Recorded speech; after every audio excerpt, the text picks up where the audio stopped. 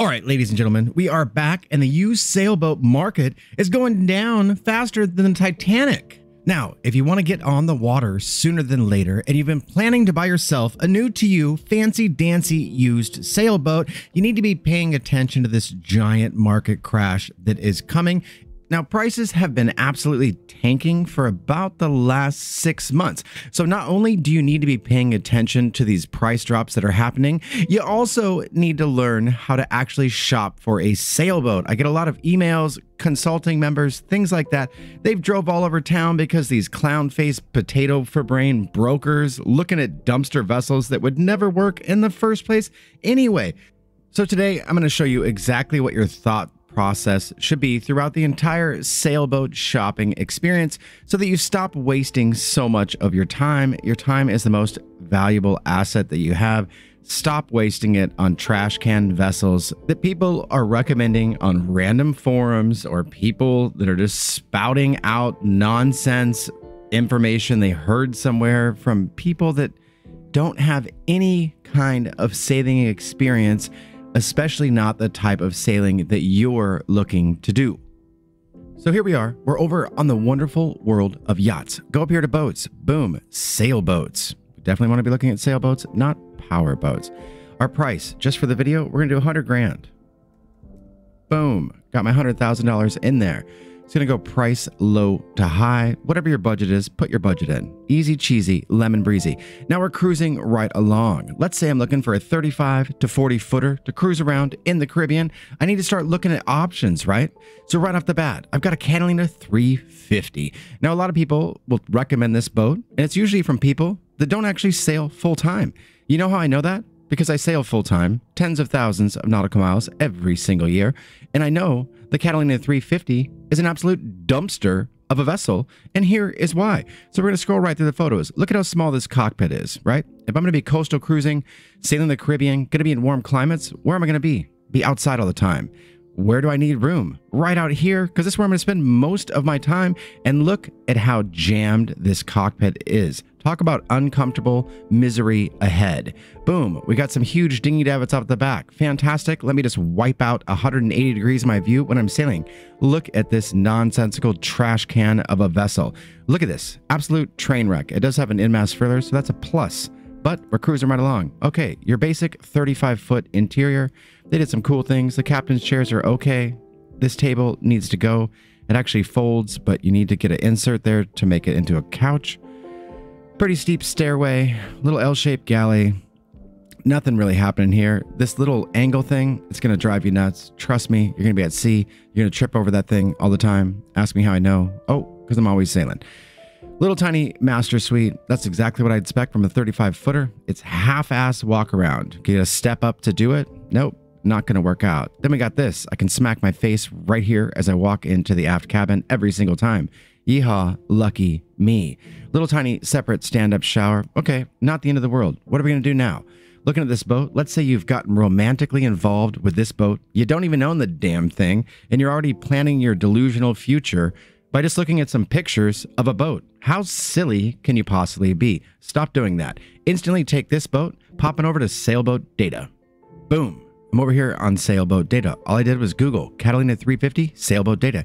Gives me the layout, two cabin, fantastic. I scroll right down here. This is what I'm looking for. This is where I'm jamming. This is where I'm hanging out. I got a 13 foot beam. Not great, not terrible. 31.27 length of the waterline, 35.2.42 length overall.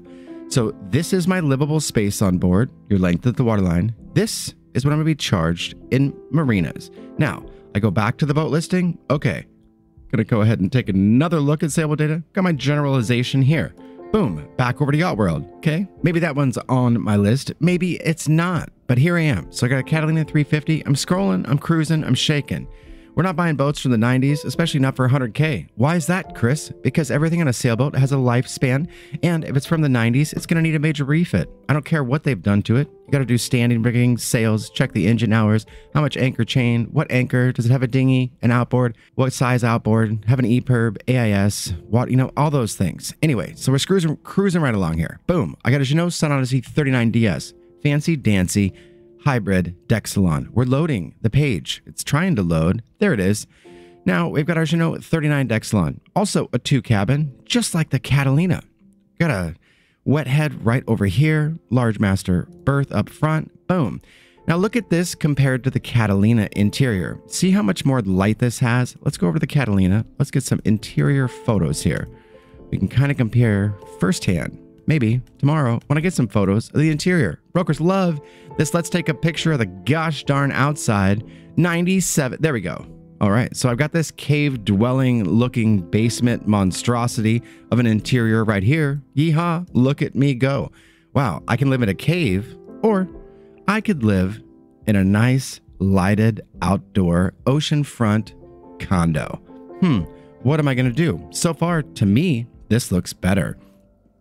Scrolling, very nice L shaped galley, tons of light Nice forward master. This one's got some more headroom. I'm still going to probably smack my face back there, but not as much as on the Catalina. Now, I've got teak decks. When you're looking at boats, stop it with the I'm romantic and I like wood nonsense. It's too much upkeep. That's the biggest downfall of this particular boat is all of this darn teak. So we're cruising. I've also got my dual helms on the vessel. That means larger outdoor living space. Where's that going to benefit me, Chris? In the damn Caribbean where you said you wanted to sail, right? Yes. So now I've got a large outdoor living area, dual helms, better, visibility when I'm sailing. Look at all this interior light. Now, I don't care which brand you like. Catalina, there's this trash can of an interior, or there's this. What? Come on, stop it. When you're looking at boats, look at what price range you're at and compare. Hello? I'm absolutely going with a boat that is four years newer, is a hybrid deck salon, has a dual helm on the boat, a larger outdoor living space, a better interior. Like, this is a no brainer right here. Back over to Yacht World, cruising, shaking, we're baking. Again, Currently looking 35 to 40 foot, 100K ish range. See what I've got going on. Now, I have an Oceanis 30.1, too small. It's a Lake Sailor. Okay, that's all that this is, is the Lake Sailor. It's too light.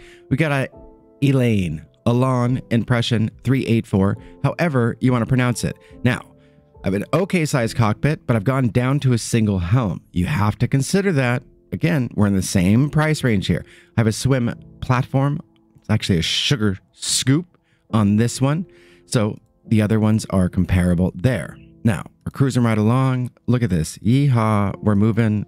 Look at this. Guy put a bed up here. Ooh, it's even got cutouts for the little windows. Yeehaw. Look at you go. Congratulations. Now, not terrible, right? Not horrible, but not as awesome looking as this. Now, that's going to be a personal preference. You would want to go on both of these models. They don't have to be this specific boat located here. Just the model is all you have to look at. Double sinks, whoever invented double sinks should be taken on the freeway and dropped off in rush hour. Uh, double sinks are atrocious. All right, we're cruising, we're shaking. You know, nothing about this looks great to me so far. Doesn't look terrible, but not looking awesome. I don't have much room. Right when I step through these doors, I got no room before I run into the foot of that bed. I don't like that. I like to be able to actually close my door without feeling like I just did an Olympic gymnastic feat there. So, cruising, got some stock photos. Yeehaw, look at us go. We got a 110 Genoa. Where we going, ladies and gents? We're going to sailboat data. And just like magic, a quick Google, bam, I'm on sailboat data.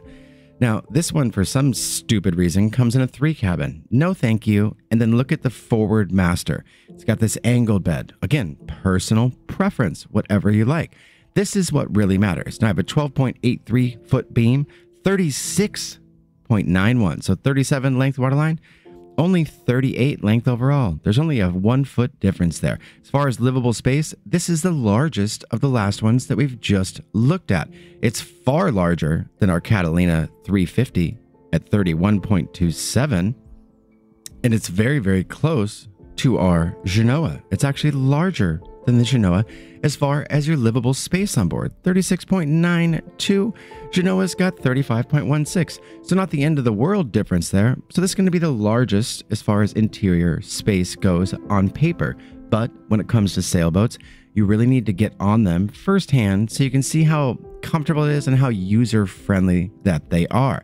Now, for me personally, I know all of the benefits of a deck salon. These are a hybrid deck salon, a raised coach roof, more light gets in. This one's got the dual helms. Again, I'm to be sailing in the Caribbean, warm waters, tropical locations. I'm sitting right here, sipping a Mai Tai, anchored right off some white sandy beach and palm trees. So for me, this one's absolutely winner winner chicken dinner, 39DS. If this is my budget, 100K, coastal cruiser, island hopper, bingo. So far, got 39DS. Now, we're going to get some pop ups from this trash can nonsense. Now, you might say to yourself, oh my gosh, but Chris, if I go just a few years older, I can get myself a Beneteau Oceanis 461. Okay, stop the madness. We're going straight to sailboat data. Just like magic, here we are. Comes in a wide variety of layouts. Bam. I have 39.37 length at the waterline and a 14 foot beam. So, although you think it's a 47 foot vessel, it's not. You're going to pay for 47 feet in a boat slip for sure. Your livable space is still under 40. And if we go back and we start comparing it, it's not that far off from the 39DS as far as length at the waterline, not horribly far off from the Elan either. So when you're doing that, what you're doing is you're just getting yourself a much, much older vessel that is barely larger because the newer vessels have more livable space on the smaller boats. So you have to keep that in mind. The older the vessel you get, the smaller it really is in comparison to its model. This isn't a 46 foot vessel. This is a 39 footer, and you've gone all the way to 1996. That's insane. That's 30 years old. Stop it. Stop the madness. Back to Yacht World. Stop doing that.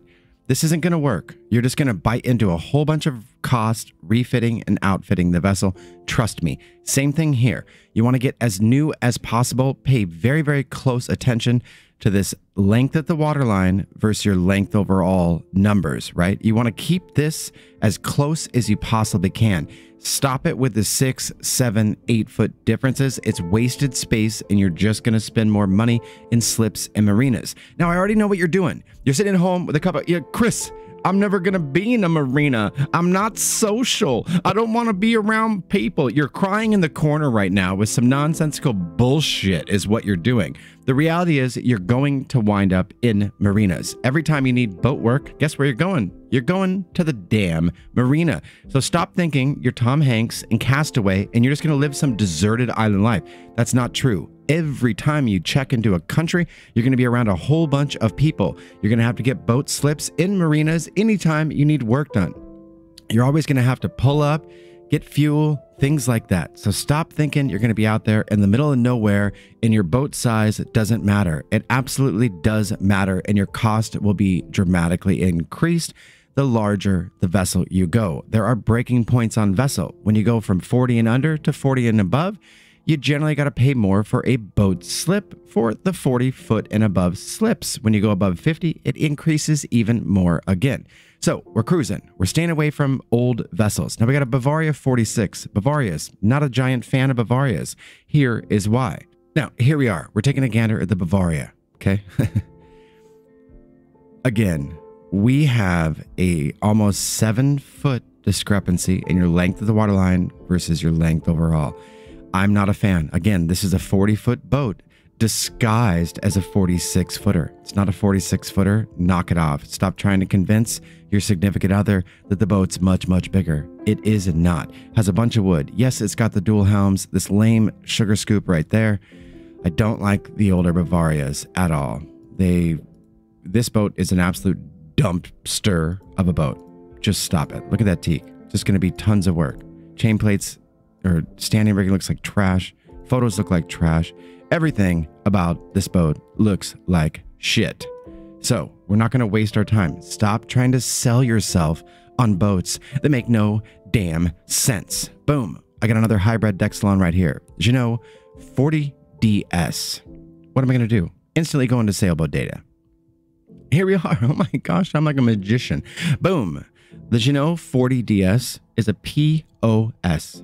It's got 33 feet length at the waterline, 40 overall. Again, we're at that seven foot discrepancy with the 13 foot beam.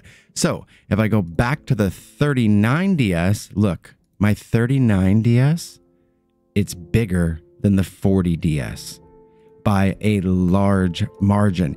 You have to understand what it is you're actually looking at. Stop paying attention to model numbers, okay? Instantly go to sailboat data, check out your length waterline versus length overall, because you're probably in your head going, oh my gosh, Chris, I can jump up to the 40DS and get a bigger boat instead of the 39DS. No, George, you can't. The 40DS is quite a bit smaller than the 39DS. So what are we going to do? We instantly pass. This is also a single helm. Absolutely not. We're passing. We're done. We're all done with the 40DS. Not going to work. Don't need to convince myself that it's going to work. So, as we continue down the rabbit hole, also known as sailboat shopping, it just gets more tricky. So, again, we've got another Bavaria. I don't have to look. I already know there's a large discrepancy.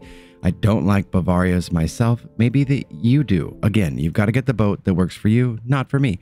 This is stupid. You got a double step sugar scoop. No bueno. You're going to trip right there, inevitably. Single helm, small cockpit, large discrepancy, length waterline versus length overall very, very small vessel, useless forward V berth. Yeehaw, we're we're done there. Okay, we're not buying boats from 1976. Knock it off. Bruce Roberts, no can do me amigo. Here's why we don't do Bruce Roberts. It has a 32 foot length waterline, 43.24 overall. We got over a 10 foot discrepancy. Stop it. You don't need to look at stupid boats like this. There's no reason to. You know 39DS is going to be much, much larger and save you a ton of money in a long run when it comes to running costs on your boat. You have to really keep that in mind when it comes to buying yourself a new to you fancy dancy used sailboat. Your running costs over time, you should be looking at running costs on a five year span. Now, throughout that five years, you're going to wind up in marinas numerous times. I know you think you're Tom Hanks, you're not.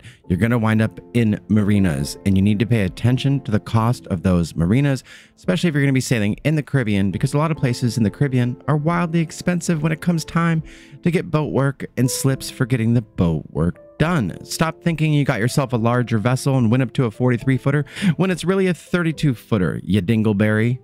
Back to sailboat data we are. Boom, we got a 1980s. Stop the madness, J-Boats Eraser. Again, the 411 2001, we're over that 20 year mark. In my opinion, it's too old.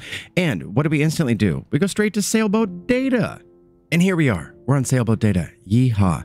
36.92, 41 length overall, 13 foot beam.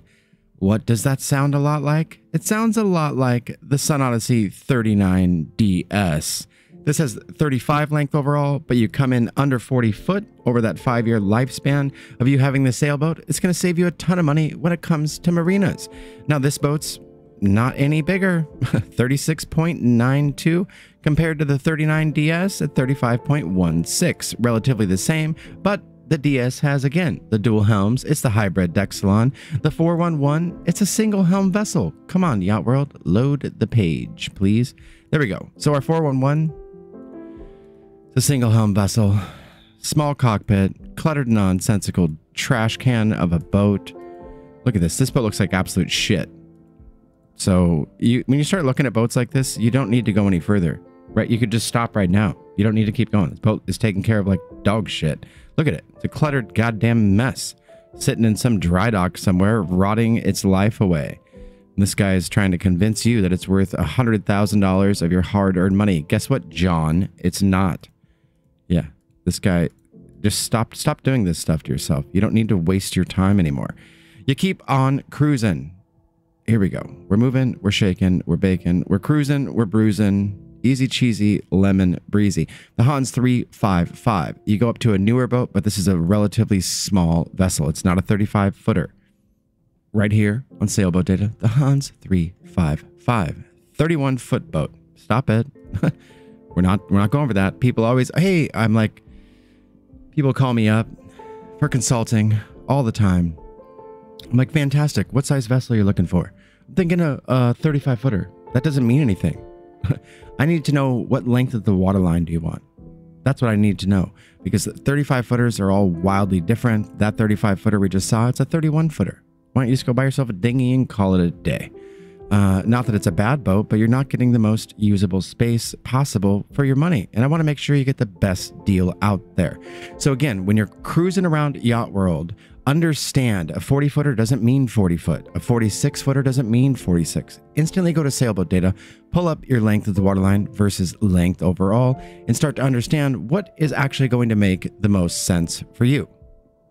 Now, I'm going to take things one step further for you today. So here I am, I'm on my spreadsheet. This is going to be wildly helpful in your future sailboat shopping endeavors. This is available directly on my website, chasinglatitudes.com.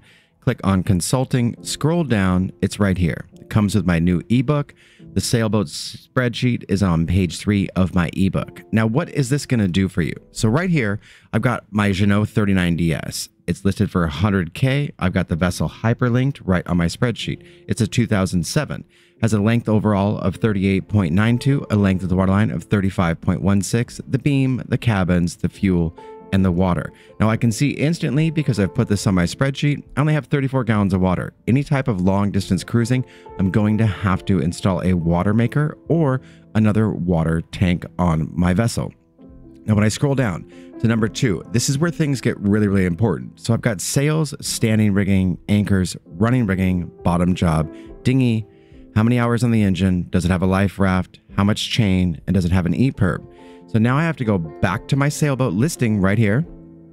And then from here, I got to scroll down and try to figure out anything. And what I'm going to find out is that the broker has told me absolutely nothing because they never do. So I've got some basic things right here, but nothing that's telling me anything other than basic stock information here. Um, so I don't see any upgrades at all. Nothing. Doesn't tell me anything.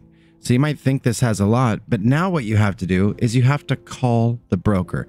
Before you ever send me a boat listing or before you ever even consider any boat for sale, you need to instantly call the broker up so that you can fill out this information. Now, we don't know that information. Let's say I need to pick myself up a new mainsail because the mainsail is original and it needs to be replaced.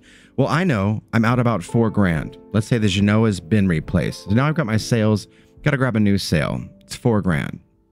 The vessel is a 2007. So we're coming up on that 15, 20 year range in your standing rigging. What does that mean? I'm going to have to start to replace that sooner than later, most likely. I can almost guarantee that that is original standing rigging. So, not stellar. Let's say that I have to replace the standing rigging. Now, I know just from personal experience, it's going to run me about 5500 bucks on this particular model. Let's say our anchors are good, my running rigging's good. Let's say it's had a recent bottom job, but doesn't have a dinghy, and I have to get myself a dinghy and an outboard. Well, I got 5K and a dinghy and an outboard right there. Let's say it doesn't have a life raft and I want to do some long distance cruising. I got to get myself a life raft. I got to spend three grand on a life raft. Boom. Doesn't have an EPIRB either, and I want to do those long distance cruises. Now, my EPIRB is going to run me about a $1,000. So, pretty simple stuff. A new mainsail, some standing rigging, a dinghy, life raft, EPIRB. No big deal, all basic stuff. Now, I know that I'm going to have to add a water maker because it doesn't have hardly any water. Let's say it does have a generator. So I'm going to add myself a water maker there. Let's say it's got all this other stuff. No worries. Now, I've got my state tax, import tax, registration, airfare to get there, lodging, hiring a captain, insurance. My insurance is going to run me about four grand for the first year for a vessel of this size. Generally speaking, going to be somewhere in that range. Now, down here at the bottom of my spreadsheet, look, it's automatically added it all up for you. That's not a $100,000 Jeanneau 39DS. That is a $128,000 39DS. That's why this spreadsheet is so vitally, vitally important that you pick up on my website, chasinglatitudes.com. Go buy it. It'll save you a ton of money. I now know this 39DS, that's not a $100,000 vessel. It's a $130,000 vessel. So now what do I have to do? Well, now I hop right back over to Yacht World. Now I know that, as you know, it's not a hundred grand. It's 130 grand. So now what am I doing? I'm going to put $130,000 as my budget minimum. Boom. Not 13,000. We need 130,000. All right, let's roll. Price low to high. Boom. Now what am I working with? Okay. Got a Jeanneau Sun Odyssey 43, 2003, 130K. 90s boat, not doing that. Okay, 130K. Bavaria 37. It's in Taiwan, but hypothetically, much, much newer model. CNCs are, I hate those boats. Uh, we're kind of looking here, 130K. What else is on the market? Got some Bavarias. I don't like Bavarias, but we do need to do our due diligence. We need to take a look at all these boats that are the $130,000 range. Got a 420 Passage right there. We got a 43 DS. Let's take a gander at this, but what do we do first? Right to sailboat data. So here I am, sailboat data. Boom, I'm going to scroll down. Look at, oh my gosh, 13.75, 37.5. So I do gain some room in my livable space because my beam goes up quite a bit. My length of waterline doesn't go up a ton, but it goes up a little bit. So I also have to understand that with this length overall, it's going to increase my running costs. So if I was looking at this and I really considered it, I would have to go and get on this model and the 39DS. They are close enough to where it's going to be a personal preference between the two. And this one would, of course, have to be fully outfitted to where we didn't have to do anything in order for this to make more sense than the other one. But back over to Yacht World, we're to try to find a little bit better comparison here.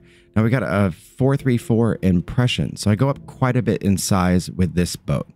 So it's got the dual helm, all the things we've known and come to love, blah, blah, blah. But we're going right to sailboat data. Here I am taking a gander at the boat, comes in a bunch of layouts. So again, I haven't gone up much here. I Got 37.57. Remember, my Jeanneau, 35.16. So I haven't gone up a ton. I have gone up some and I've got my beam up, but my length overall, my running cost has increased dramatically because I've broken that 40 foot mark. So if I go back a little bit here, trying to find something comparable, apples to apples, oranges to oranges, all those good things. Let's see. Got a Bavaria 37 Cruiser. I don't like Bavarias at all. We go back to that cluttered small cockpit. This doesn't look terrible. That looks good. Now this is a much newer boat, which is why it looks so much better on the interior. Um, Let's see here. Cruising right along. This guy's taking interior photos to. So look how small this is. This is going to suck, right? But we can go right to sailboat data and try to compare. Now here we are, looking at the Bavaria 37. Look, 31 foot length of waterline. That's instantly X top of our list. It's not a 37 footer, it's a gosh darn 30 footer. This is what I mean. You've got to understand what you're actually looking at and stop paying attention to model numbers. Pull up sailboat data, look at the actual size. Now, this Cyclades is huge. So, you can get into this Cyclades for 130K. It's in Antigua, but your running costs have increased dramatically. Your size has gone up quite a big amount, but also your running cost. So you could technically get a 50 footer for the same price as your 39 deck salon. But again, you'd have to put that on the spreadsheet and you, then you have to work into all the things that it needs. Does it need, how much of this stuff does it need to actually get your realistic cost of the vessel? You can't just think it's 130K and there's a little bit of work to do. You look at this spreadsheet, you'd think this was a little bit of work too. Ah, I just got to grab a mainsail, redo the standing rigging, get myself a dinghy, a life raft, an EPIRB. No big deal. I'd have to do that, most of that stuff anyway. Right now, you're romanticizing a boat you don't own and you're talking yourself into spending money you don't need to spend. So, that Jeanneau 39DS, it's not 100K, it's 130K. I can assure you the Cyclades is going to be similar. It's not going to be 130K. It's going to be 150 or 160, depending on what they have done. So we're going to go ahead and scroll down. Other details. Look, this is all copy and pasted. Yeehaw. Okay, so you didn't tell me anything. Thank you. As usual, are you seeing a pattern here? Brokers don't tell you anything. So what do you have to do? Instantly call the broker. Grab my spreadsheet, start filling out the stuff that you need on the spreadsheet so you can get a realistic idea of the cost of the vessel that you actually want to buy. That will make sailboat shopping much, much easier you're not going to have many options. I don't care what kind of money you have. Once you start to think about this thing in black and white and be realistic about it, you're only going to have maybe two or three models that are actually going to work for you and your spouse and whatever kind of setting it is that you want to do. The quicker you narrow down your boat search to a few models, the better it's going to be for you. Now, for the purpose of this video, in my opinion, the 39DS, it's the best one at 100K. I don't know if it needs all this stuff because the guy didn't tell me anything. I still have to call him. So I can keep on looking for the 130K range, assuming it needed those things, but then I'm going to get up into larger running costs. Trying to live my life on a budget. I'm trying to be frugal and see as much as I can and travel as much as I can. So I want my running cost on my boat to be as low as possible. The Oceanis 40 is a phenomenal boat. Used to own it, love them. They came down a lot in price. This is actually the same boat listed twice. Yeehaw, you're a genius broker. So not much on the market for that 100 budget something nice to cruise the islands, you're looking at like a 39DS right now. There are some other models, but once you break it down in the spreadsheet, trust me, they're not going to make any sense. I'm here to tell you, I've got too much experience. I know for certain most of these are not going to make any sense. Maybe you're going to wind up with two models, possibly three at the maximum, if you're looking for the 35 to 40 foot island hopper and your budget's 100K. Now, don't forget, just because this boat says 130,000 US it doesn't mean anything. People are always negotiable. Also, stop looking at this. Oh my gosh, it's already got an arch and solar. This doesn't cost anything. These solar panels aren't worth anything. This little arch wasn't very much money. You're better off just doing that yourself. Get some panels that fit your personal needs. Get an arch that fits your needs if that's what you want to do. Now, I love the Oceanis 40 across the Atlantic on this make and model.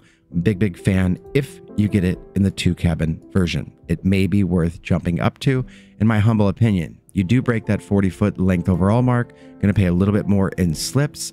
Um, they're nice boats though, and they'll get you wherever it is that you want to go. So hopefully that helps you a little bit with your boat shopping. And then next up, we need to discuss the actual cost of sailboat living full time on a sailboat. And I'll cover that in tomorrow's video. If you do need help getting on the water sooner than later, you can head on over to my website at chasinglatitudes.com. Now, I do offer full consulting over here. Now, there's a few different routes that you can go. Let's say that you're interested in a particular boat and you really want me to go in depth with you and take a look at it. You can get a one on one, one time consult. It's on sale right now. It's only $100. That gives you lifetime access to my private members area with hundreds of other members, all looking to get on the water sooner than later. We will have a live one on one conversation. We'll discuss the boat you might be interested in. Uh, in depth, or we can go over several boats. Whatever it is you need, you can grab the one time consult. Now, if you're in the process of buying and you kind of still got to narrow some things down, maybe you've had a previous survey that didn't work out, you're trying to determine like offer prices, things like that, you can grab a consulting package. Now, this will be three different consults, so we can go over multiple boats, we can touch back and forth, lifetime access to the members area, all of those good things. This is currently on sale. It's only 375. And then if you're starting your whole journey, you don't know where to start, you need help the entire process, you can get the 24 7 complete package. Again, lifetime access to the members area. It's currently half off, it's only $1,000. And I'll walk you through every step of the way until we get you the boat that's going to work for you. Now, this never expires. If you're not ready to buy a boat for a year or two, I say grab this now while it's on sale that way, we can do a whole bunch of foundational work over the next year or two before you're actually ready to buy. We can get you out on boats. We can look at some things. We can really, really get in depth and narrow down your search. We'll come up with offer prices. We'll go over the survey together, reduction in our prices, sea trials, all kinds of stuff. That's where you want the 24 7 consulting package if you're really, really serious about getting on the water. Also, something that helps is my spreadsheet. Now, you get my number one best selling sailing book as well as my spreadsheet for only $10. So I published a sailing book on how to buy a used sailboat uh, a couple years ago. It was the number one best selling sailing book out there at the time. So you also get that. It's only $10. So over my website, fantastic place to go. Um, I've got a little bit of apparel up here, stuff like that. But again, what we're really doing here is we just want to get you a boat that's going to work for you. So head on over our website, grab a consulting package. Let's get you over in the members area. Let's get started.